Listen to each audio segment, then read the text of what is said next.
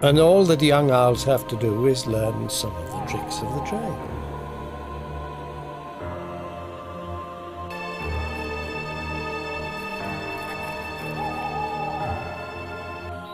The short-eared owls have returned to the farm after a successful summer on the moors. Halo sob, kembali lagi di YouTube Mamang Channel.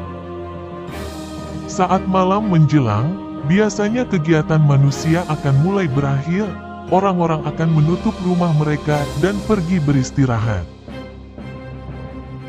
Namun berkebalikan dari manusia, ternyata malam hari jadi waktu di mana banyak hewan yang justru memulai aktivitasnya.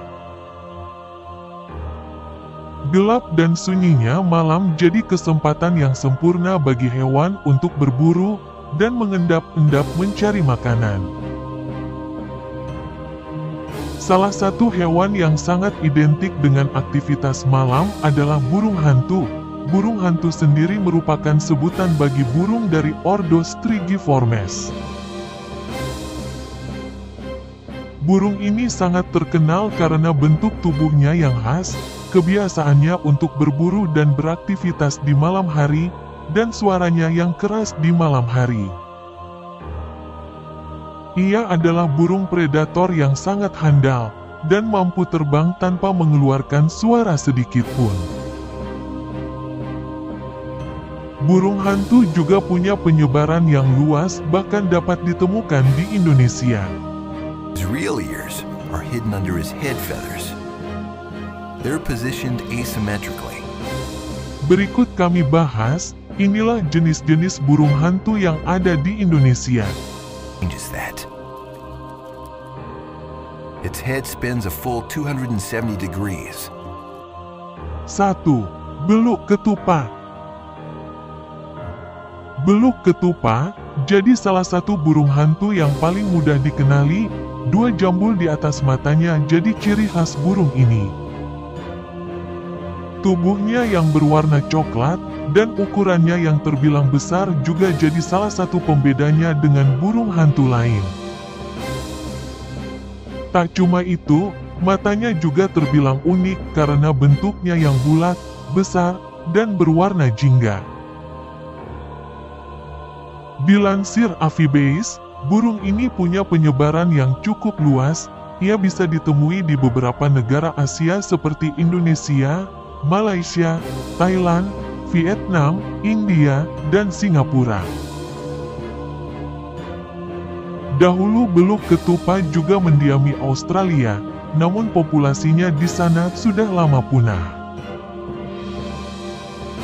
Burung ini biasanya mendiami hutan, daerah pinggir sungai, taman, bahkan area pemukiman. Seperti burung hantu lainnya, beluk ketupat juga merupakan karnivora, makanan utamanya mencakup ikan, reptil, amfibi, serangga, burung lain, bahkan bangkai.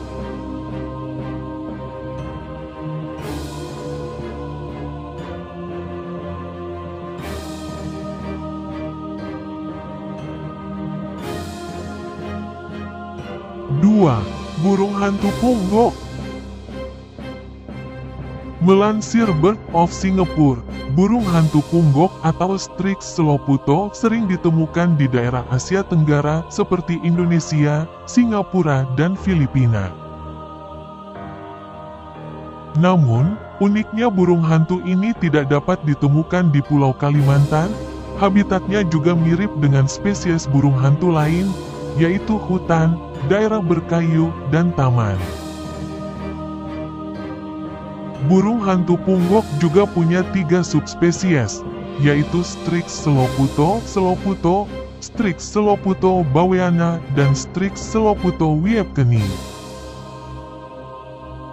Hewan ini juga mudah dikenali dari tubuhnya yang terlihat gemuk, kepalanya yang bulat, dan matanya yang besar. Burung ini terbilang punya ukuran yang cukup besar dengan panjang maksimal yang mencapai 48 cm. Ia juga memiliki beberapa kombinasi warna di tubuhnya, putih, coklat tua, coklat muda, dan kekuningan dapat terlihat di sekujur tubuh burung ini. Wajah burung ini juga unik dan mudah dikenali, karena ia punya wajah dan mata yang dikeliling bulu berwarna coklat muda, sementara bagian belakang dan samping kepalanya berwarna coklat tua.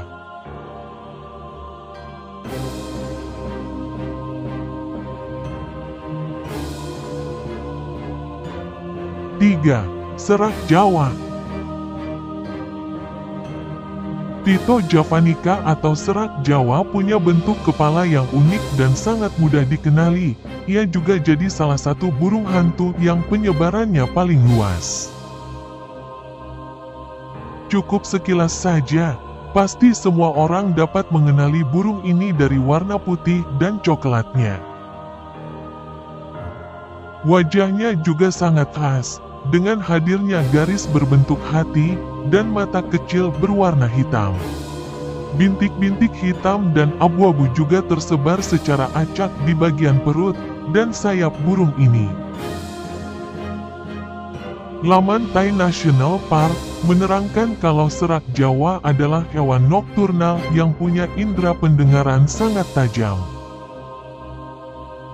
khususnya pada keadaan malam yang sangat gelap di mana ia tidak mampu melihat jelas, pendengarannya sangat berguna untuk mendengar pergerakan mangsa dan predator.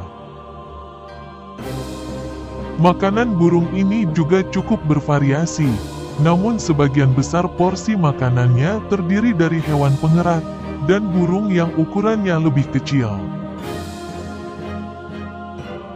Serat Jawa juga dibagi ke beberapa subspesies, yaitu Tito javanica javanica, Tito javanica delicatula, Tito javanica sumbaensis, Tito javanica meeki, Tito javanica stertens.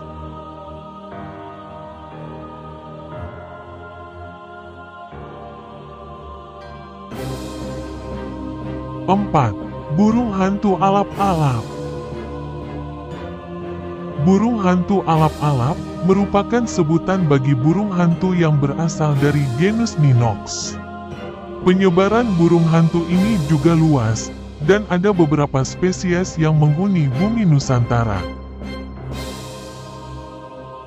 Dilansir Inaturalis, beberapa spesies burung hantu alap-alap yang dapat ditemukan di Indonesia adalah Ninox fusca, Ninox rhotiensis, Ninox pleseni, Ninox burhani, Ninox hipograma, Ninox squamipila. Kebanyakan spesies tersebut ada di hutan-hutan Indonesia bagian timur seperti di Halmahera, Pulau Seram, Togian, dan Tanimbar.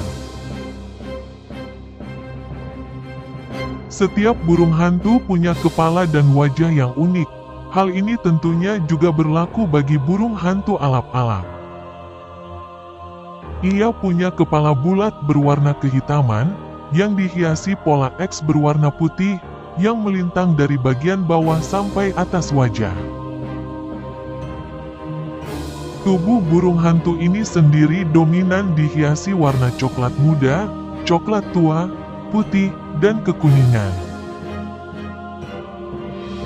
Kombinasi warna tersebut memudahkan burung hantu alap-alap untuk berkamuflase di pepohonan dan bebatuan saat malam hari.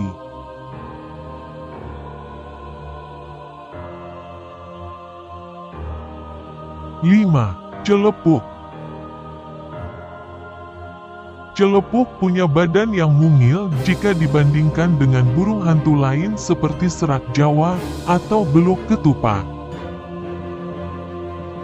Laman The All Pages menerangkan kalau celepuk punya badan kecil, sayap yang bulat, dan beberapa spesies punya jambul di atas mata. Celepuk sendiri sebenarnya bukan sebutan untuk satu spesies, melainkan sebutan untuk semua spesies burung hantu yang berasal dari genus Otus. Setidaknya genus ini memiliki 59 spesies yang di antaranya adalah Otus gurnei, Otus bali, Otus mirus, dan Otus rutilus. Ukuran kecilnya juga tidak bisa dipandang sebagai kelemahan, karena dengan ukurannya yang mungil, celepuk mampu terbang dengan cepat dan lincah. Dengan ukurannya yang kecil, celepuk juga mampu berkamuflase di tempat-tempat yang sempit seperti sela-sela tebing, di dalam lubang kayu, atau di sela-sela ranting yang sempit. Burung hantu ini juga menunjukkan seksual dimorfisme, di mana individu betina punya ukuran yang lebih besar dari individu jantan.